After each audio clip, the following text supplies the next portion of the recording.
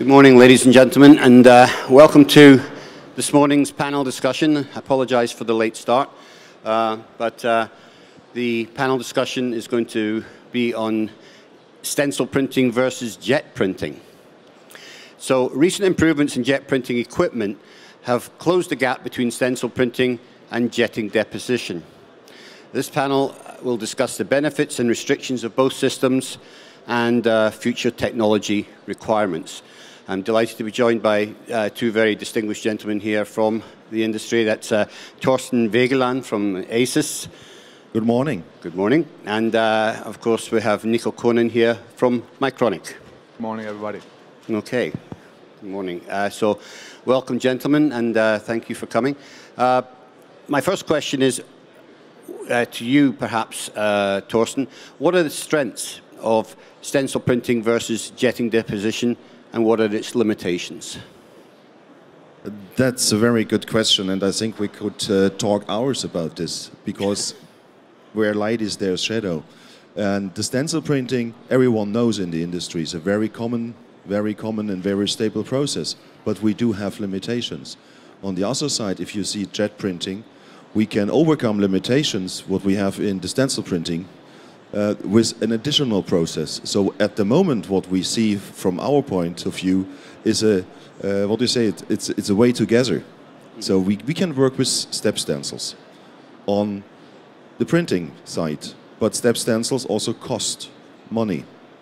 But we need that to combine the different technologies. So mm -hmm. if if we uh, would combine this with jet printing, you know, we have a way to use a normal stencil. Right. So looking just to the process of printing, at the moment we would purely say we do not need a jet printing. We could do all with stencil printing.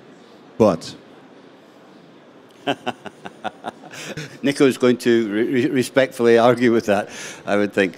Um, Okay, let me ask the obvious uh, opposite question, uh, Nico. What are the strengths of jet printing versus versus stencil printing?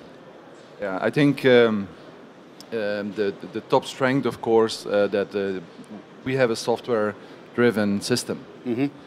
So um, if you have a software-driven system, that gives you a lot of uh, uh, benefits that you can have, like it, well, in the light of all the new technologies, the Industry 4.0 and so on I mean, you can have an automatic uh, changeovers mm -hmm. versus the stencil. You have a man manual removal of the stencil and uh, putting on a new new stencil.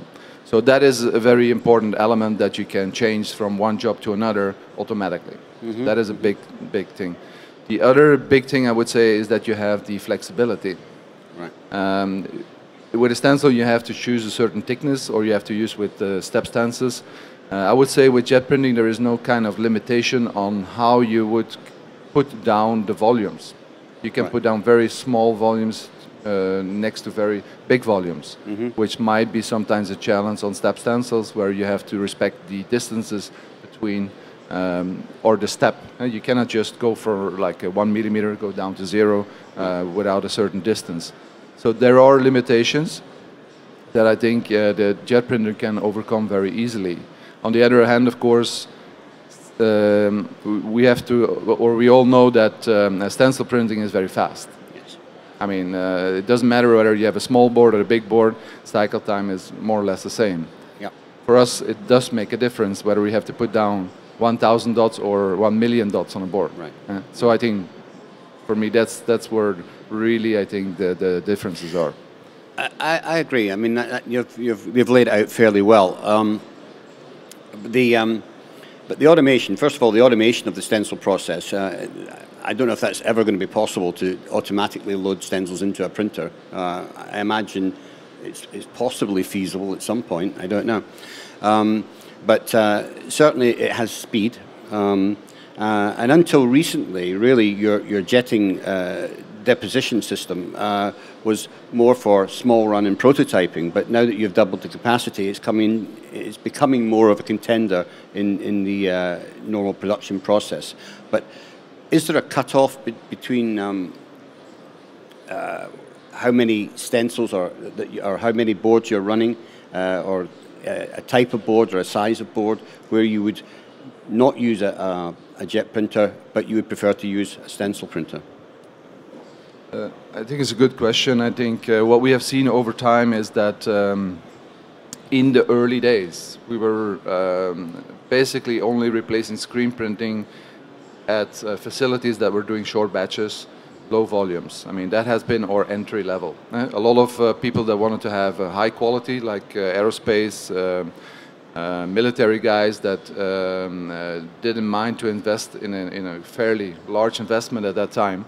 Uh, but they wanted to have the capability to uh, make sure that they had the best quality. Um, but like you said, over time, and, and, and, actually the jet printing has been on the market for more than 10 years, has been evolved, and we have had, uh, uh of course, the questions, okay, how can we cope with speed? Um, originally, I think when we go back to the first generation, we were talking about like uh, 25,000 components per hour speed. If we see now on the latest generation, the MY700, um, we have made it uh, in such a way that we can make it modular and that we can put down multiple jet printers next to each other and the software will look at it as one system. Mm -hmm. And uh, we have a line here at the exhibition that is rated at uh, uh 100,000 components per hour, right. which is, I think, um, in most of the cases in Europe and, and US, uh, more than suitable uh, to, to cope with the speed of the lines. Right, right. I mean, Torsten, I mean, definitely I think when you come to high volume applications, it, uh, it, it makes a lot of sense to use uh, stencil printing uh, and uh, it has economic benefits that, there as well. Would you agree? That's definitely right, but uh, let me just come back to one thing uh, about the automation. We do have automatic stencil changing systems. You so do? Yes, yeah. we do have that on the booth as well. Okay. Not for the SMT at the moment, but for applications. But this would work. Mm -hmm. Now, uh, coming back to your question, it depends a little bit on the stencil maker. If you have a stencil maker next to you, you can also use it for small runs because he can deliver probably within a couple of hours and a couple of days, uh, uh, six or seven hours, and you could run. Uh, stencil printing has a pure cost benefit at the moment. We can go very, very small, and uh, I, I think I lost your question. well, we're just talking about the, the, the economics, really, of, of, of, of, the stencil printing. Uh, and coming to the economics, mm -hmm. we can use just the paste we need for the product you run. So if you have an 0603, you're fine with a Type 3 paste. If you really go to a fine pitch, then you have to go for a Type 5 paste, for instance. And this is a tremendous impact to the cost. Yeah. If you have an easy stencil, it comes and goes for a couple of hundred dollars. And you can really do small runs as well. Mm -hmm. Now the question is how fast you can change over. And change over is about one or two minutes. Mm -hmm. So this is also not a big deal. So in the end of the economics, what I learned from my customers, for them today there's no reason to change over just from the stencil printing to the jet printing. Right even they like it. Right. Yeah, it's certainly the, the, the system that most people are using. Um, but Nico, could I ask you? I mean, the, the cost of jet printers is has is considerably higher uh, than a, than a stencil printer. Is that likely to come down over time? Well, I think the cost has come down already mm -hmm. quite quite significantly over time. So. Um, uh, originally, I think, or, or when we launched the, the product, uh, we were talking about a 300,000 um, euro machine. Yeah, I remember that, yes. So that, that, that was, and, and at, that, at that time, I think you could also buy a stencil printer for 50,000. So you were, you were talking about 6x. Huh? Yeah, yeah. So that was really a significant uh, uh difference. So over time, of course, this uh, price has come down uh, quite significantly. And um, uh, you, but but um, uh, my colleague here did really uh, uh, point out that there is a difference, of course, in, in using different types of paste. Huh?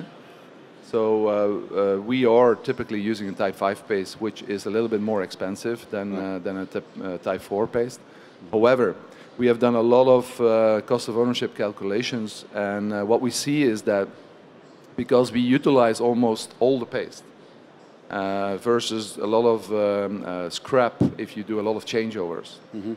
uh, and then the cost of ownership is, is more or less on par. But that is typically if you have a, like um, a high mixed kind of environment. Right. I, I would agree that if you're running like one product all week long, same paste, that probably uh, the paste cost eh, is still uh, cheaper than on any, any stencil printer. In a mixed environment, I would disagree because of, because of the waste that you have uh, if you have to change the, the, the, stencils all the time. Yeah, well, of yeah. course you don't have the cost of a stencil with a jet printer, and, and, and for a high mix environment, it does make some sense, uh, and it's good for prototyping. Um, the highest number of defects are known to come from the printer. You know, typically everybody talks about 60, 70% of the defects emanate from the printer. So which of these two printing processes do you think um, produces the least number of defects? I'll let you take that first, Torsten. That's an unfair question. That's an unfair question because within the printing process, uh, everyone looks to the printer. Mm -hmm. And we have so many influences paste, product, stencil, the design, and all those things. And if you would compare this with the jet printing, I think we only have a couple of, uh, what do you say, common impacts together, paste and product. And yes, if you would take this in consideration, mm -hmm. the jet printing process should be just by those comparison better than a stencil printing. Right. Okay. Now, there are less influences from my point of view, to the jet printing. Yeah, of course. Obviously, the, the, the stencil can clog, and, and you, can, you can have different things go wrong with, with, with, with that if it's not maintained properly. Yeah, the nozzle of a jet can also clog. Of That's course. So, mm -hmm. But there are a couple of influences you don't have. The failure of a stencil. Mm -hmm. If the stencil manufacturer makes a failure, good, you could have a failure in your CAD data. So, mm -hmm. so mm-hmm.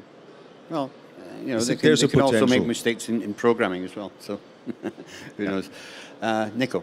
Um, I think the uh, the the big difference is is that um, uh, since we are a software-driven uh, product, that we're much more flexible in in, in uh, adapting. Mm -hmm. I mean, if, if your stencil is made wrongly or whatever, I mean, you have to wait and you have to go for a new stencil.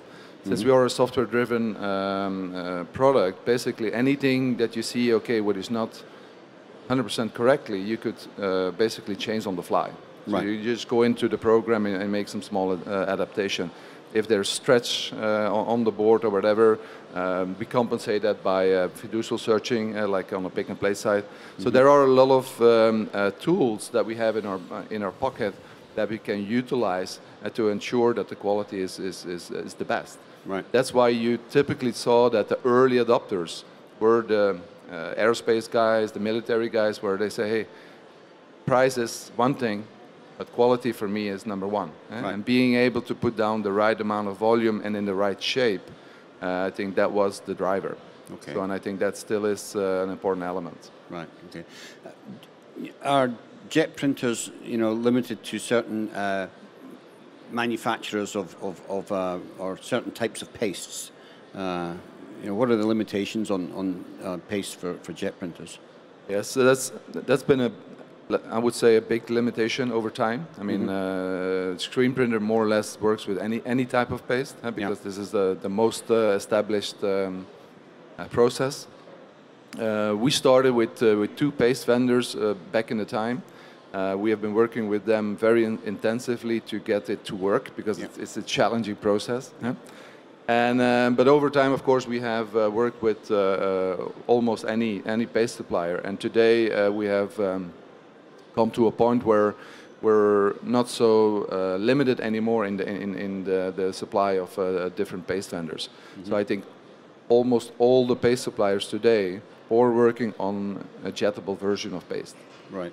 So um, yes, it is still a different type of paste uh, because mm -hmm. you have to make a certain modification on the paste itself to make it jettable. But most most is it a certain size? Is it you know type uh, type eight or is it? Is well, in in our general uh, process, we typically use a type five. Type five, okay. But uh, in order to get down to the 200 micron or even smaller uh, type of dots, then you have to go to type six, and maybe in the future we might have to go even further. Right. Right. Okay. Uh, Torsten, if I can sort of um, finish with you, um, how big an issue is, is stencil storage? Because it, you know, the, I go into a lot of factories and it takes up a lot of space. I think it's it's definitely an issue. Mm -hmm. Our customers need to take care because every stencil occupies a certain space. Mm -hmm. Now there are smart solutions on the market for quick uh, exchange systems from various vendors. I don't will call them now, where you can reduce the requirement for those stencil and Right. storage areas. But I personally know customers, they have 4,000 active products, and you need to store those 4,000 stencils close in your uh, close to your manufacturing area. Yeah. And these usually are big areas. You can combine them with stencil washing and everything. Uh, at the moment, there's not really a way or a solution to reduce this amount, so we have to live with it. So that's why I said where light is, is shadow. So we have a stable process, and it's easy for the guys to use it and for the changeovers, but it also has some, yeah, Yeah, I think I think in summary, you know, obviously there, there, there is there is room for both processes. It really depends what you're making and the volume of what you're making and the number of changeovers you're doing. Before we finish, I just want to maybe open up the floor a little bit. If anybody's got any questions for our panelists uh, on stencil printing or jet printing, does anybody have any questions? If you do, just raise your hand and we'll bring you a microphone. No? Is there any one of you using jet printing? Okay. So we've got a few, a few users that are using jet printing, and the rest of you are all using stencil, I guess. Okay. Interesting. Well, I want to thank our panelists today, uh, Torsten Vegelahn from uh, uh, thank you very much, uh, Nico Coenen from Mycronic, uh, and thank you for joining us. Thank you.